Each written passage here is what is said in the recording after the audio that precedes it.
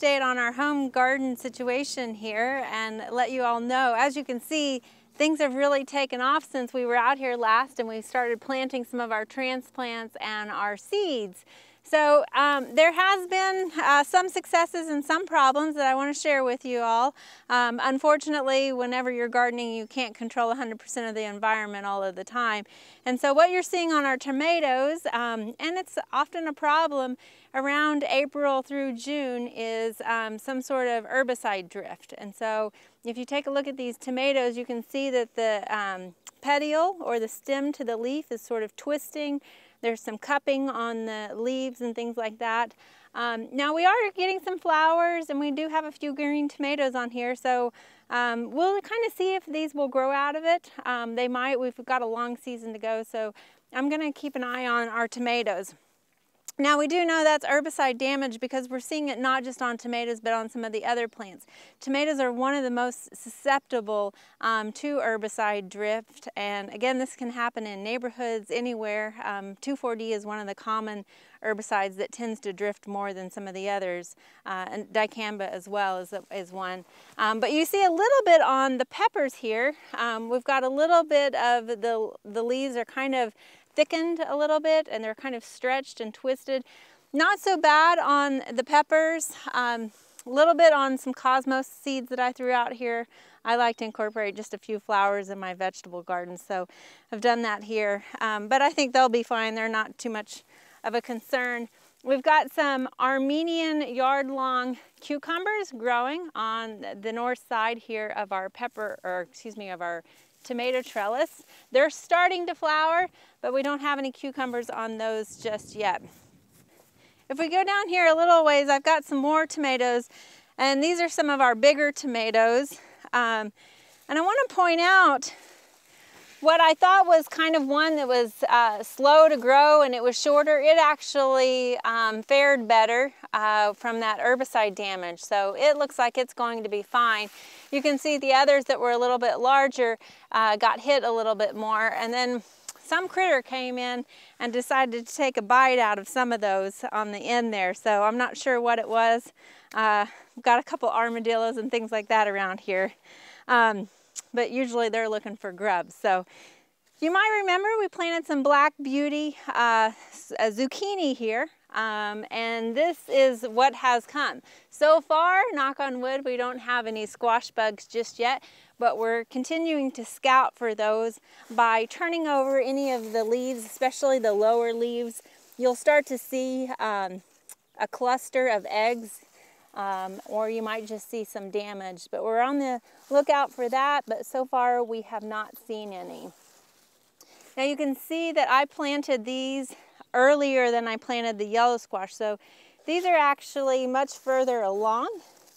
Um, and if you come down here, I want to show you the difference between some of the flowers. We've talked about this before, but if you're in a home garden situation and you're new to this, you might see different types of flowers and be wondering why you're not getting fruit yet. So right here, this flower is a male flower. Um, you can see that it has a nice smooth stem that goes up to the flower here. Now you can utilize these. These are great for um, fried squash blossoms if you want to.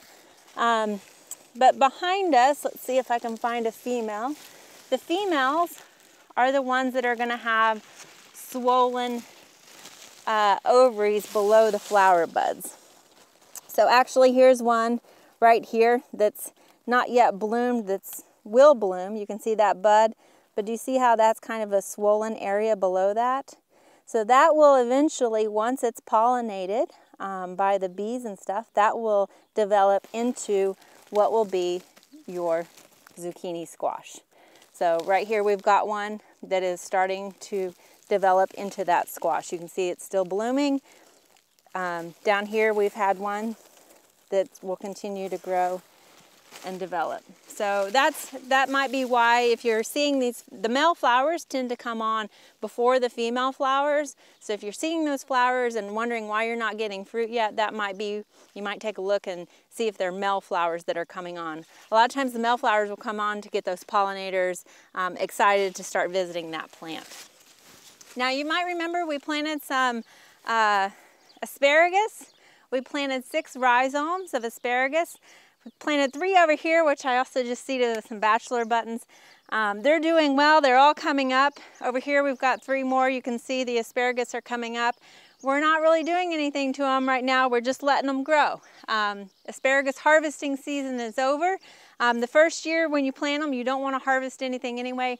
We're just really trying to get that root to develop. So we want that fern to grow and photosynthesize to really get a larger root system.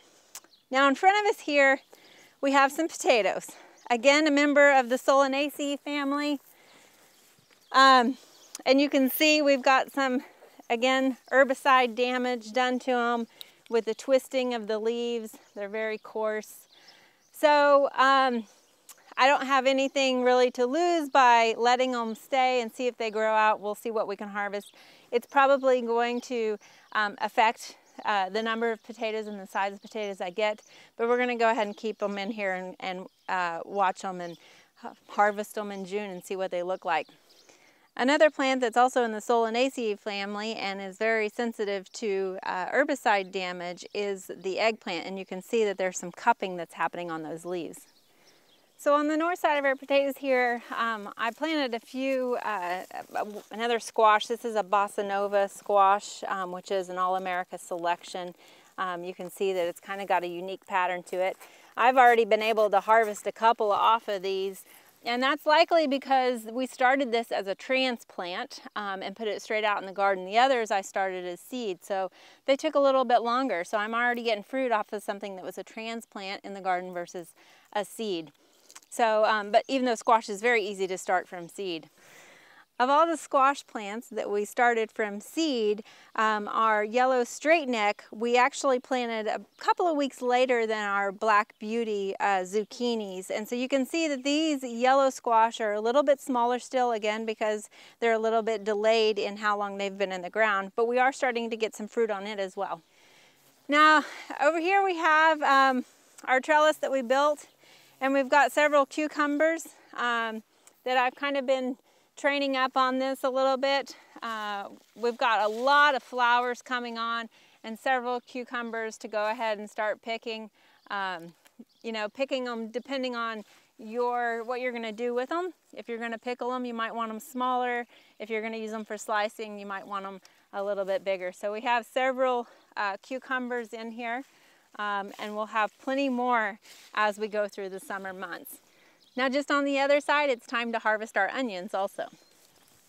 So you can see our onions have sort of fallen over here. We do get a fair bit of wind and basically it's time to harvest these.